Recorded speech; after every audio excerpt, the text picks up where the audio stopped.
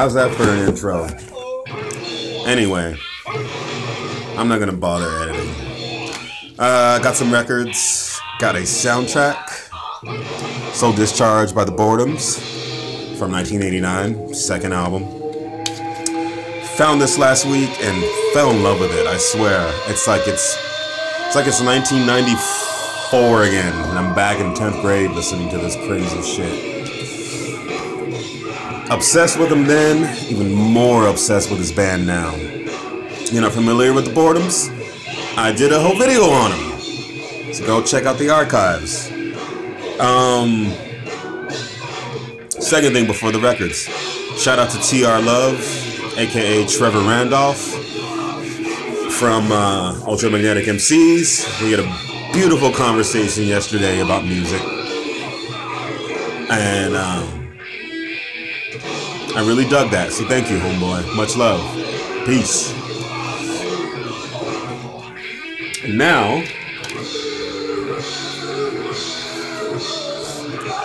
First House by Arthur Doyle. This is uh, this, it's from 2012. Part of Live at the Stone. This is his last recording and last performance before he passed, unfortunately. But it came out in 2016. White vinyl. Anybody not familiar with Arthur? Excuse me. Um. Yeah, his music. He's he's a saxophonist, flute player, and vocalist. Very lo-fi, very folky, if you will, African folky, if you will. Um, noisy and beautiful, and I really dig it, and so should you.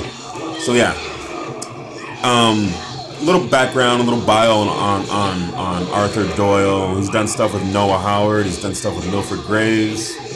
Uh, he's done stuff with Rudolph Grey, if you will. It's Just a reference, someone you should know. He's one of my heroes, and I hope you dig it. Next up producer Kenneth Gibson, aka 8 Frozen Modules. This is from 2002. This is called Thought Process Disorder, Delusional Malfunction. It's glitchy, it's good. He started off making minimal techno. This is a little more all over the place. It's still electronic music though. It's really beautiful. I really, really dig his uh, manifestations and his output. And it's on black vinyl. So yeah, check out some 8 Frozen Modules, and I promise you, you will not be disappointed.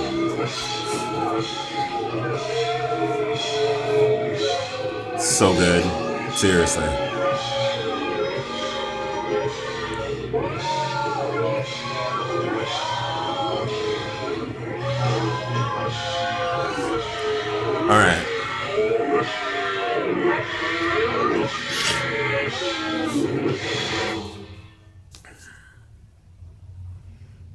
Next song, though, it's over.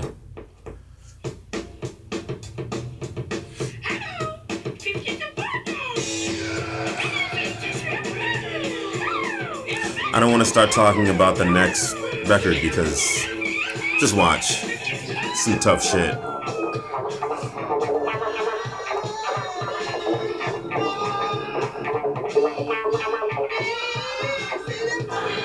Their changes are just crazy. Seriously, I'm in awe of this band.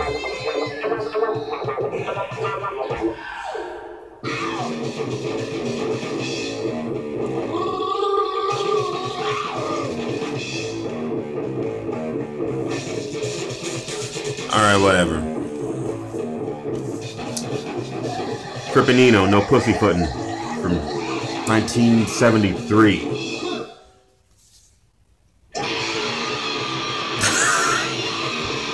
Anybody not familiar with this? Oh boy, you're missing out.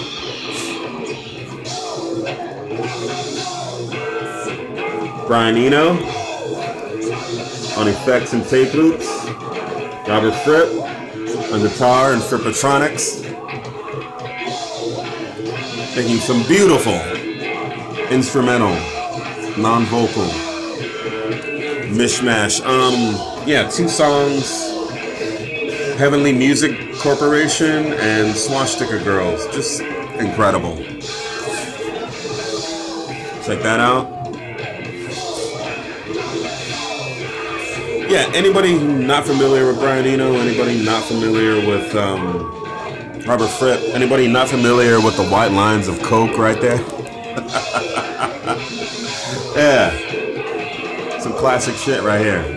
Definitely dig this. Um, really good mood music, what became to, to be known as ambient music and whatnot. Very good mood music, very good relaxation, very repetitive. Just amazing. Not enough good things I can say about this record. So, don't sleep.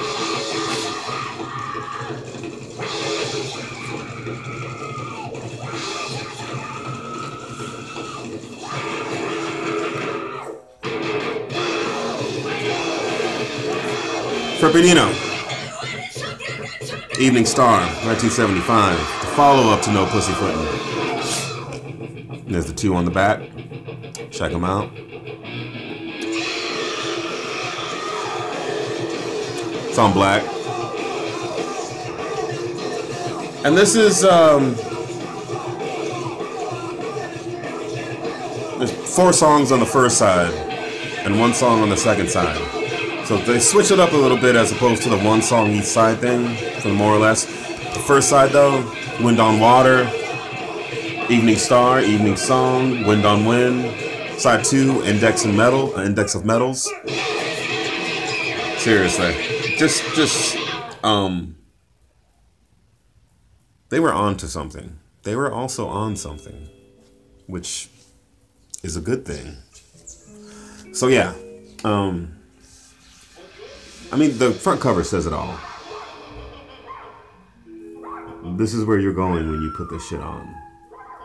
You know. Just like this is where you're going when you put this shit on. oh.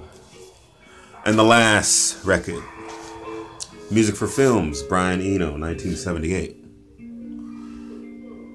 Instrumental it is exactly what it says. It's music for films.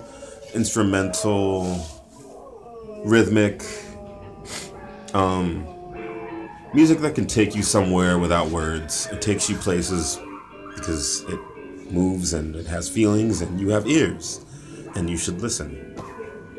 But yeah. Um, nine songs on each side, just phenomenal. Some of Eno's best work. Um, not enough good things I can say about this video. I mean, duh. Not enough good things I can say about this album, other than get to it and listen. Stop sleeping. Anyway, gotta wrap this up. Peace to the rockers, peace to the jazzers, peace to the hip hoppers that don't like coppers, and I'm out.